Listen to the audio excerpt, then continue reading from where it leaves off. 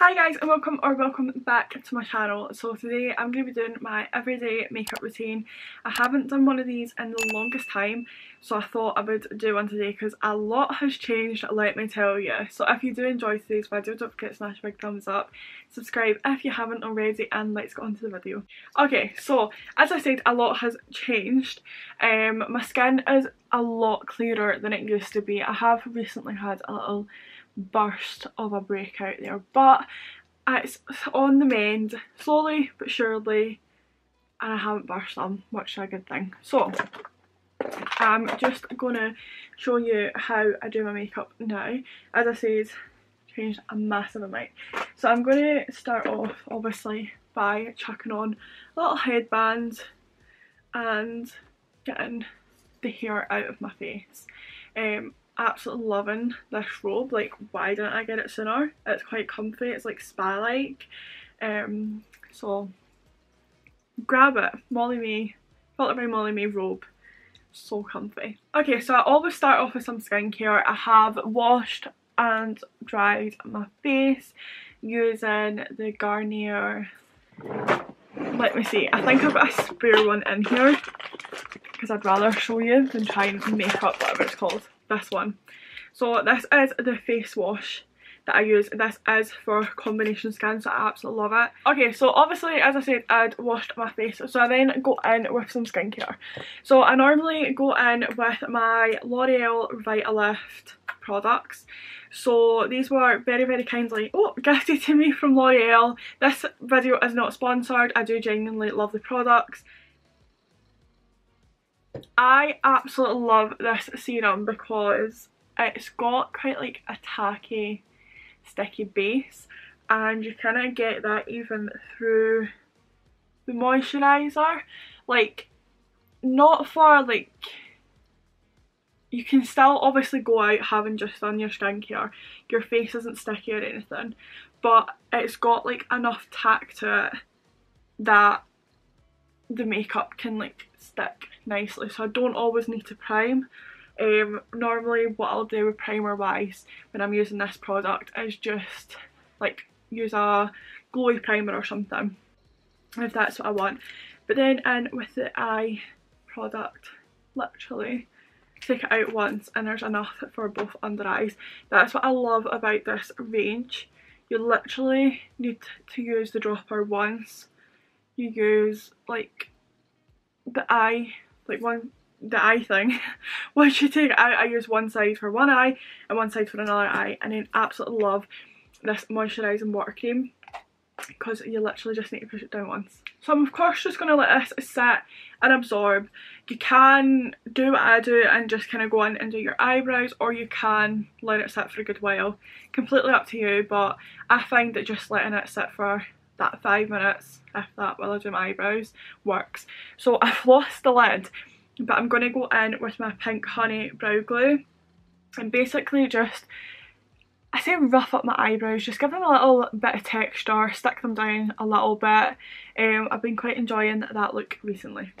Okay, so they're a little bit more stuck down than now, like how I normally have them, but that's fine. Um, I think I put a bit too much product on. I've completely messed that up. I've stuck in that bit too much. Um, I put far too much product on, but it's fine because I'm quite liking them. I'm going to sort that bit because it looks a bit blocky. But now what I'll do is I will go in and use, if I can find it, in my makeup bag. I'm literally so tempted to do a video on like showing you guys what's in my makeup bag it's this one and obviously it looks like a reasonable size. And some of it is out of the bag um literally every time I use a new product from the makeup drawers it goes in the bag. So I never put anything back um because I'll use it and I'll be like oh I quite like that. So it goes in the everyday makeup bag and nothing ever gets taken out. I must have about three or four bronzers in here umpteen blushes, um, so many foundations and tinted moisturisers, it is ridiculous. Okay, so I found it in the monstrosity of the bag, but this is basically the Glow Hub High Coverage Zip, Zip, Zap concealer. And this has basically got like products in it to um kind of look after the spot and get rid of the spot so it's like got tea tree and salicylic acid I like to put this on any spots that I do have because I feel like it also will act as a shield. So the spot won't be like caked in all of this makeup. It's just kind of covered in something that's going to like help it. So this shade is a little bit light for me when I fake tan. So I'm just kind of going to pop a little bit on.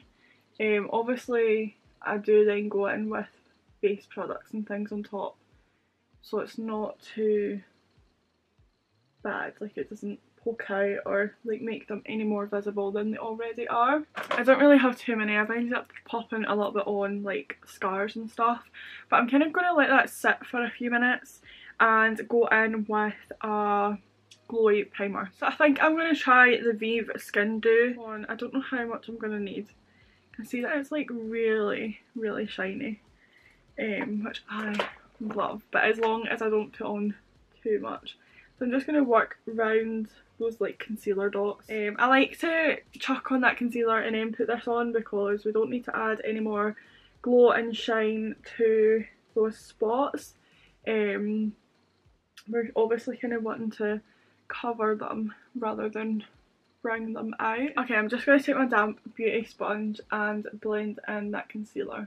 Okay, so I have loads and loads of favourites of like tinted moisturisers slash tanning drops so I'm going to show you them all and then I'm kind of just going to pick one to go with. So I'm hoping I'm not missing any because I am going to be raging while I'm editing this video but I love love love the Ekansu Be Perfect Radiant Glow. I feel like it gives a nice amount of coverage and also a little glow to your skin um, and then by the time you chuck on a little bit of concealer and a little bit of bronzer you don't actually look like you're just wearing like a little primer slash glow moisturiser thing um, you look like you're wearing a proper foundation. And then of course the NARS Tinted Moisturiser, absolutely love this. I've had it for so long and I am in love. Um, obviously it is a little bit more on the pricier side hence why I have had a little look at more cheaper options but it's definitely one to look at if you don't bother about wanting to go a more like affordable side.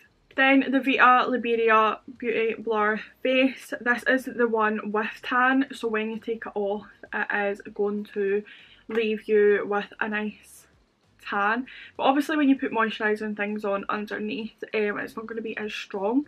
But it is really nice and it comes with a really nice, like, I think they're called like doffers um, so it's so easy to apply. Then of course the dupe for the Charlotte Tilbury, so this is the e.l.f. Halo Glow.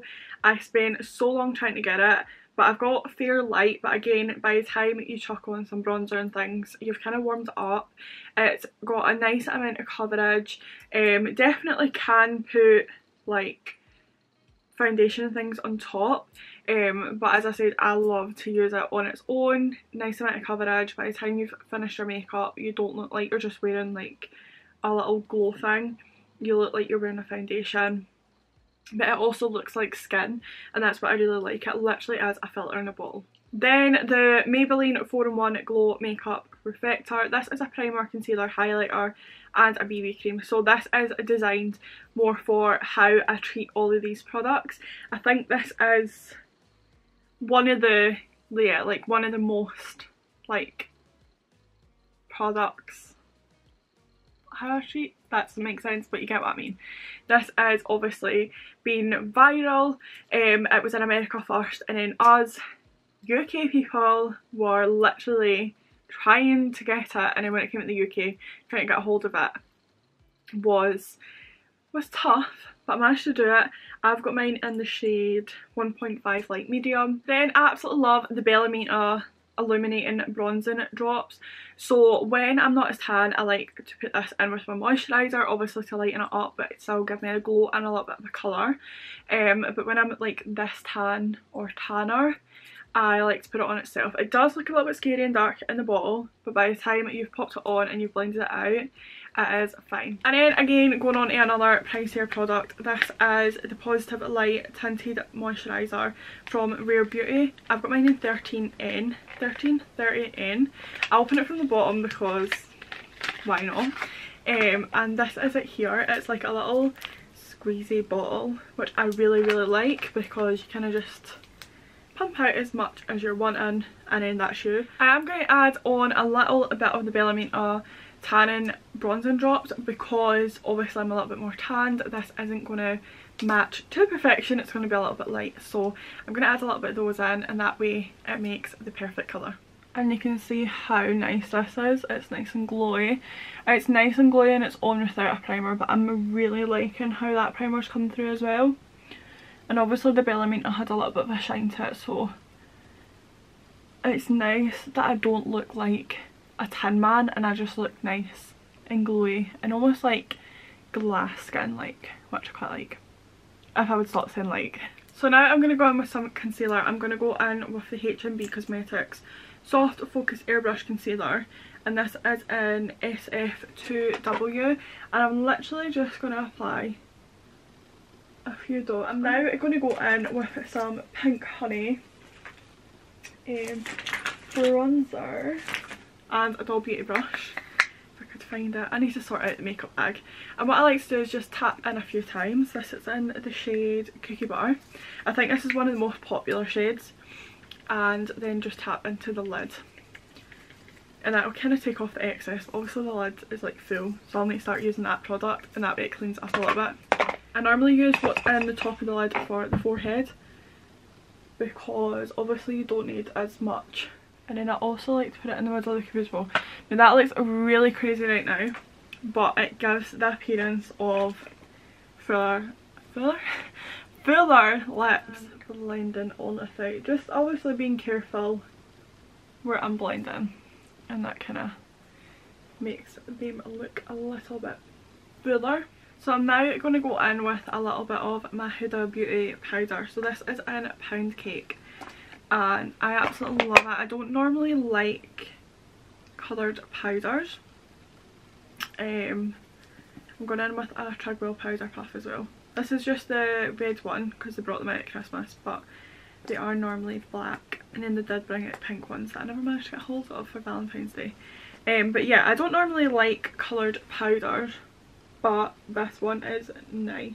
Now for bronzer, I'm going to take my trusted Hoola bronzer.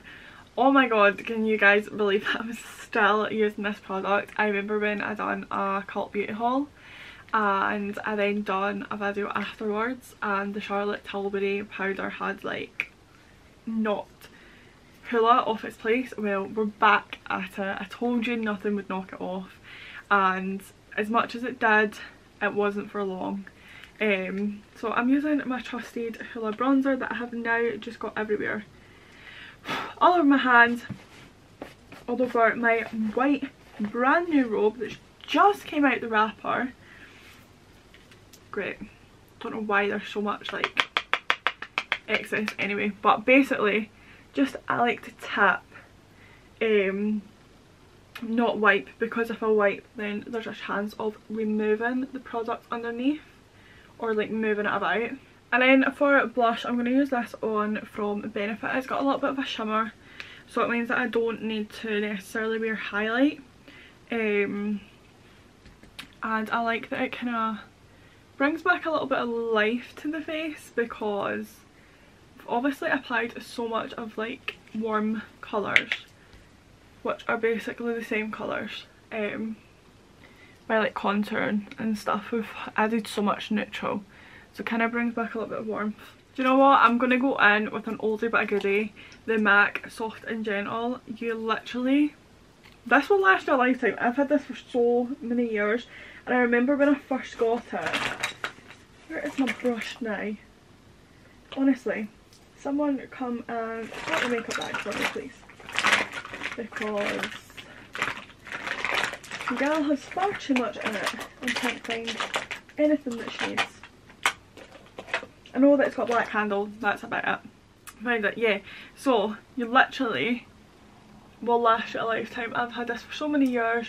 and when I first got it because it was one of those products that everyone had so I needed it um, I never put it down, I never used a different highlight. I used obviously far too much, um, just like many people did, so yeah. I'm surprised that it's not even got a dent in it, but it will last your lifetime. So I just add in a subtle glow on top of everything else. Okay, so this is now basically the makeup done. I'm now going to go in with my Maybelline eyelash, eyelash? Curl Bounce mascara. Absolutely love this mascara. Um, I needed to find another setting mist because I basically got this tub downstairs that's full of all the ones that are on TikTok shop. So none of those are up here. But I don't really want to use my Morphe Jeffree Star one because this is like back 2018 I want to say um, when that was sold so again there's no point in using products that you can't get on the market just now. Okay so the only other two that I can actually find is the MAC Fix Plus Matte and this little Tarte Stay Spray. So obviously we're not wanting a matte finish so I'm going to go in with the Tarte one but I don't know where they've all went because I'm sure I had a coconut MAC one as well somewhere um, but who knows. So basically if you're new I like to drown my face in setting spray. This I feel like helps it all melt together um, so it just looks like one rather than layers. So that is just what I'm going to do if I can get that out of this little ball. So while I was waiting on setting spray drying I had just curled my eyelashes and now I'm going to go in with my mascara. So as I say this is the Maybelline Curl Bounce Mascara. I love it.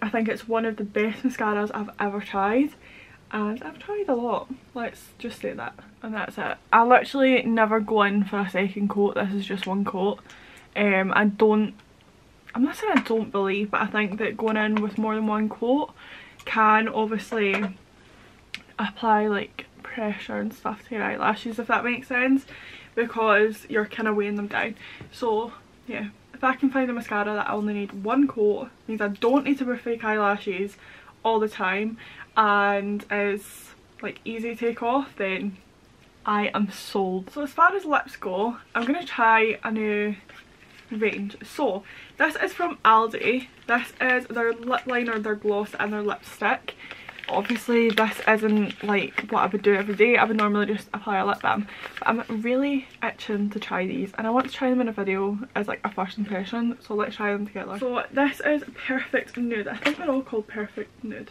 Yeah. So this is basically like the shade range.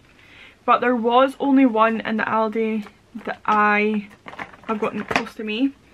So I'm not sure if they do have normal like other shades and like bigger Aldi's or if this is just maybe like obviously something that they're going to bring out. I do wish though when they do bring out beauty products that they would keep them. My Aldi's in the beauty section only has like the toner that they brought out. It has nothing else. So when I hear about other Aldi's like having more or when they bring out beauty products and they don't actually keep them permanently it is a little bit annoying. So this is the lip liner. I don't know if it looks like a particular brand, let me know. Obviously they are all normally dupes.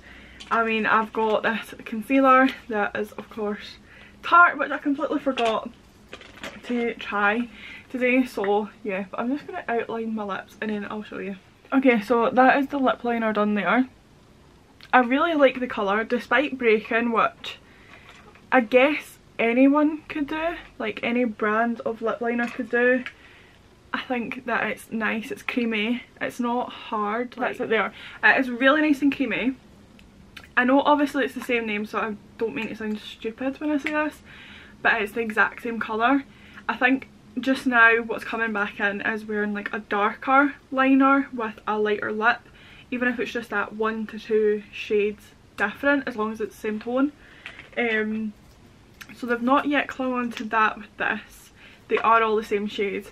That might sound really stupid of me, but I don't mean it like that, I just wasn't sure if they were all called the same name because they all matched or if it's because they were literally the exact same shade which I don't mind if it's the same shade because I think sometimes like obviously I'm adding this to my everyday makeup look so what you would want every day is probably something that's going to match. So that is the end of today's video. I'm so impressed with the products that I have tried.